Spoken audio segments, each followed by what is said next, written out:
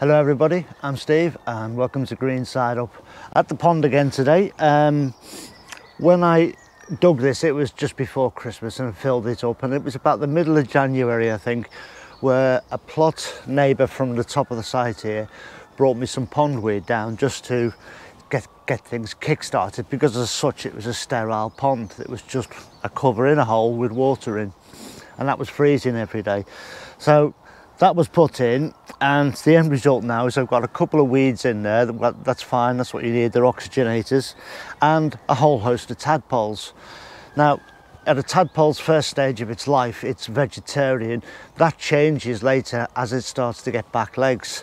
Now these tadpoles I haven't actually seen any with back legs but I know from the time span since they were born that it's not that far away.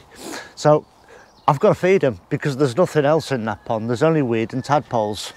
And you can buy some, this, what they call late stage tadpole feed, and you're supposed to feed it to them when they get their back legs.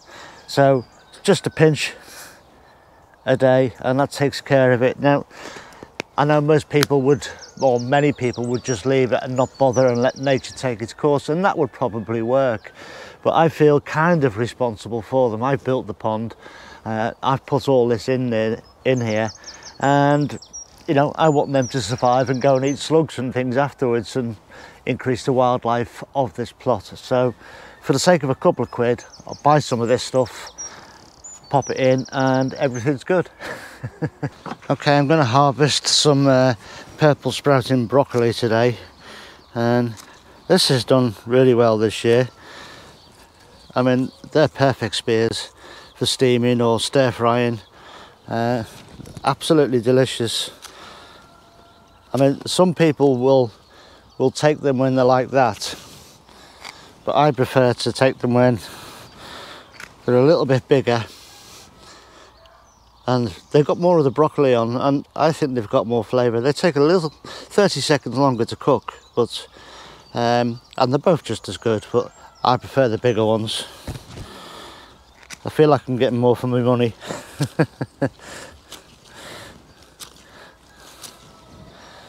so I'll take a big pile of this up and we'll have it for tea. There'll probably be enough here I think for tea tonight and tomorrow. And then I'll come back for a second picking in a in a week or so's time. I have already had some of this off. I mean this is going to be enough for one meal just off the one plant here.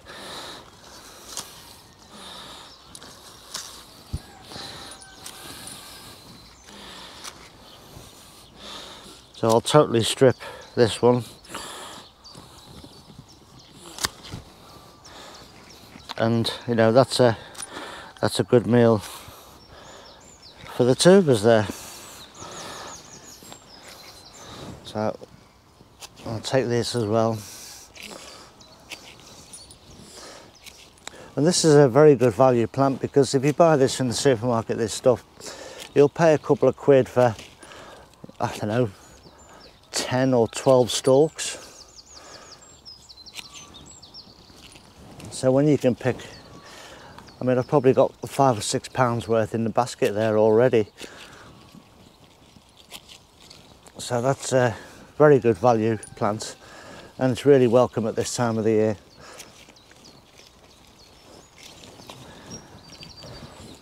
So there we go, I'll come back and pick off the other plants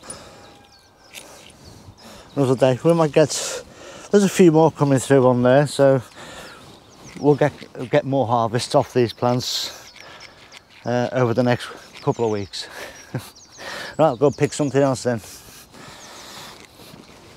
So these are the last of my leeks here. And funnily enough, although I love it, I love leek and potato soup. I don't think I've made any this winter.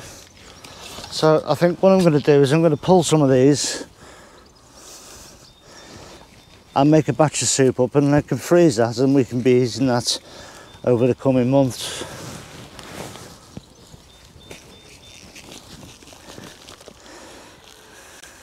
So these were multi-sown, that's why we have the smaller with the larger. I also really like to use leeks in the bottom of a roasting tin under a meat or something. So we've got that option later in the week. I like them with cheese sauce. Oh I like leeks anyway. And I particularly like using them to chop up in place of onions.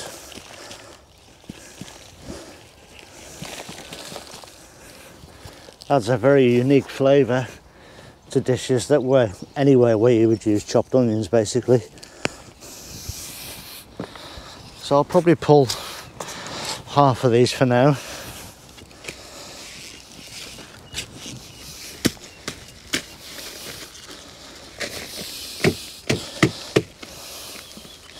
And that'll be enough to make a decent pot of soup up. So we can have a portion, again, multi-sown, so that's in a nice bunch.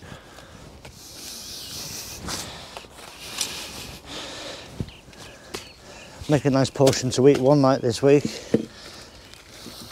Or a lunch. And then a few portions to go away in the freezer.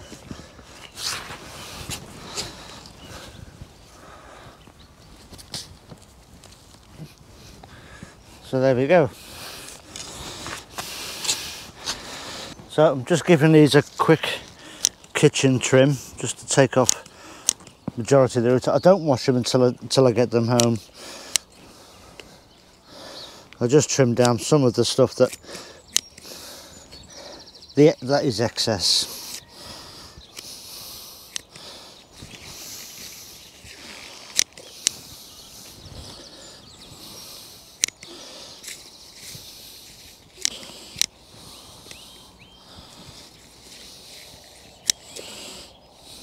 I want a good amount of the green leek as well as the as well as the white.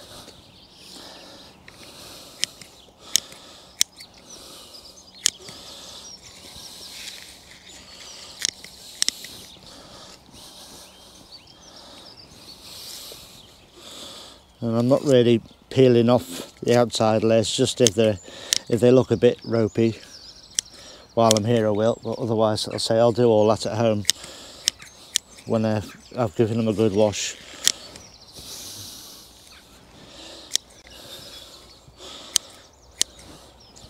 I'll just take them out into the garden and use the outside tap there just to clean them off. So since I uh, took this uh, little carrot cage off, these wallflowers have come into bloom so I'm going to cut a few uh, just to take home. Only be a small amount, but it'll make a nice little vase of happy.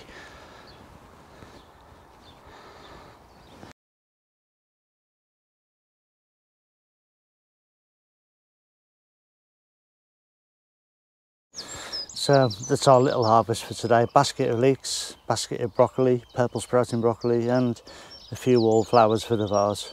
Lovely jubbly. Right, so there we go. It was a good day down the allotment today.